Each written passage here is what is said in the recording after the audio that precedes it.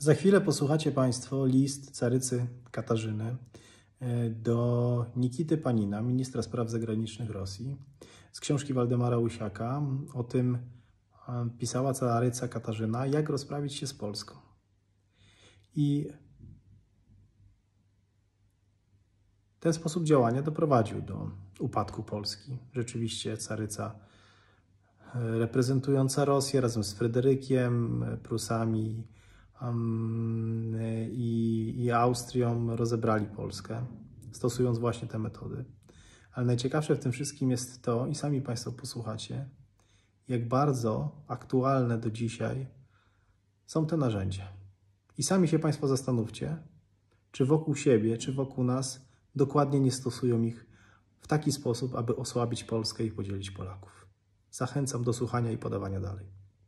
Istnieją różne narody. A raczej różne narody mają różnego ducha. Jedne można podbić i przesiedlić w celu zagarnięcia ich ziem, a świat nie podniesie wrzasku. To małe narody, plemiona. Z innych można uczynić małym wysiłkiem niewolników i będą chętnie lizali rękę Pana to narody o podłej duszy, od kolebki niegodne samostanowienia. W wielkich obszarach Azji roztopią się bez śladu.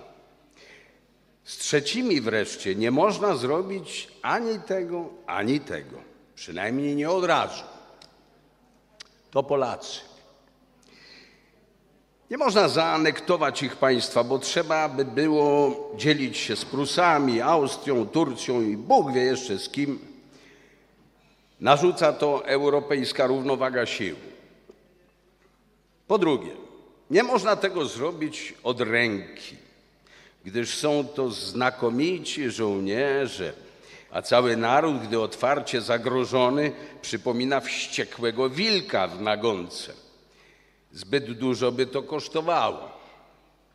Należy więc zdemoralizować ich do szpiku kości. Trzeba rozłożyć ten naród od wewnątrz, zabić jego moralność.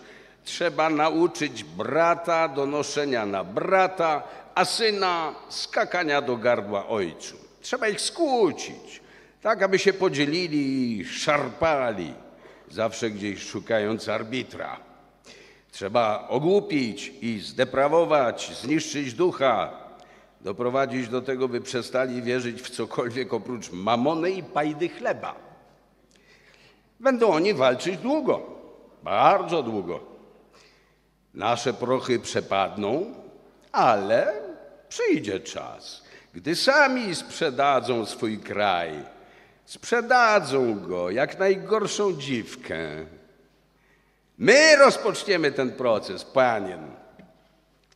Zepsujemy ich kultem prywaty, złodziejstwa, rozpusty, wszelaką demoralizacją i wiodącym ku niej alkoholem.